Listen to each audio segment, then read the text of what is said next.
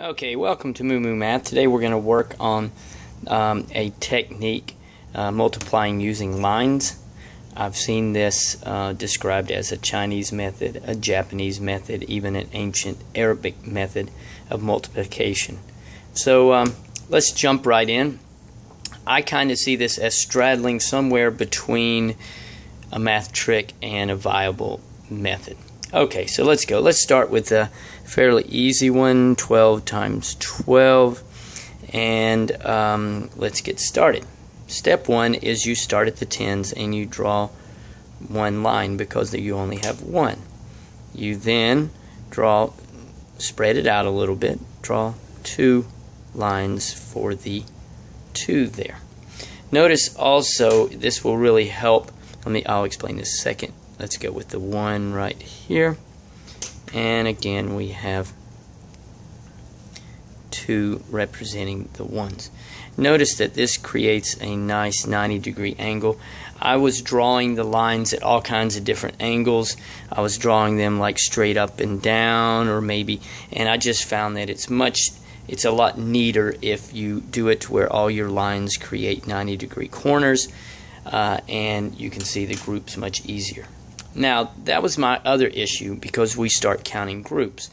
Let me explain and then I'll show you kind of how I solved that problem. So then, here is a group, here is a group in the middle, and then another group there.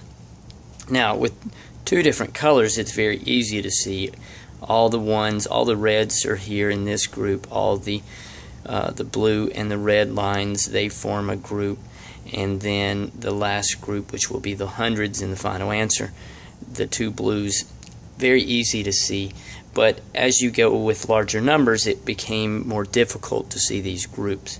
So I kind of came up with a formula. I take the number of digits minus 1 so we have one two three four digits minus 1 so I will be looking for three groups okay so anyway, then all we do is we count how many intersections we have in each point. So we have one in each group. One, two, three, four. So that's a four. This is one, two, three, four here. And then we have one there. We write these numbers down and that becomes 144. Pretty easy. Okay, let's go with one a little bit more difficult, and I'll point out uh, maybe a little weakness of this whole technique, and that is as follows. Let's go with 32 times 45. Okay, and you'll see one of the weaknesses uh, in just a moment. So I start with one, two, three for the three. Spread it out. One, two for the two. I then move over to a four. I've got one, two, three, four. Oops, kind of messed up. Notice I've got nice 90 degree angles there. And then I've got five over here. One, two, three, four, five. Okay, I use my little formula. One, two, three, four digits minus one is three. So I'm going to have three groups. Again, this is really easy to see.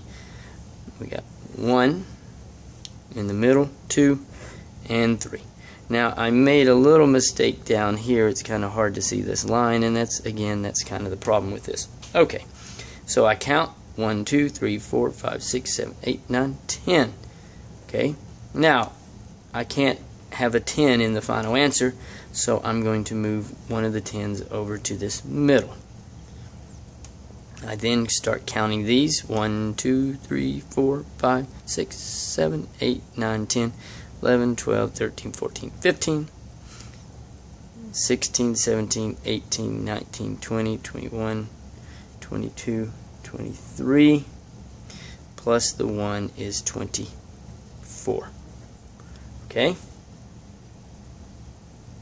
Then what I do is again I can't have the 2 I can't have a number like this so I move 2 over to this last grouping And so I go 1, 2, 3, 4, 5, 6, 7, 8, 9, 10, 11, 12 plus 2 is 14. I write these numbers out. Let me move this up. So I have 1, 4, 4, 0. So it is 1,440 is equal to 32 times 45. Okay? Okay, let's get to the last one, and I chose it on purpose. Let me show you. It is 301 times 25. And I chose this for a couple reasons. One, it has a zero to show you what to do or how to handle the zero. So let's begin. I've got one, two, three lines for my hundreds. And then I'll go with a squiggly line for the zero and then a 1 for the ones. I next will move to the other side. I have 1, 2, and then I'm going to go with 5. 1, 2, 3, 4, 5. Okay? I know I have four groups because I have five digits. 5 minus 1 is 4. And this one is a little tricky because the groups do not just jump out at you. And I think that is one of the real weaknesses of this. I guess like anything else, the more you practice, you will see the groups more easily. So here is one group. The second group is right here. The third group is here and the fourth group is there. Okay? So, one, two, three, four. And as you can tell, it, it gets a little messy, and I think that's one of the real weaknesses of this, why I, I don't know if it would be a real viable way to multiply, where I think it kind of straddles between a math trick and a real method of multiplication. So, let's count them up. We have one, two, three, four, five cross sections of the lines. When we get to here, we have the squiggly line, which represents zero, so you do not count that. So now we have one, two. So I'm going to write a two for that group. This group here, I have 1, 2, 3, 4, 5, 6, 7, 8, 9, 10, 11, 12, 13, 14, 15. Move down here can't count that because they are 0, so it's 15.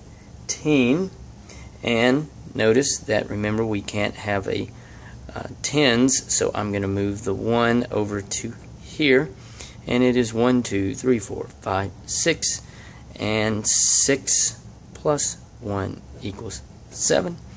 Therefore, I combine all this for the answer, and it becomes 7,525 Okay, guys, if you look below, I have a link with a little bit more information.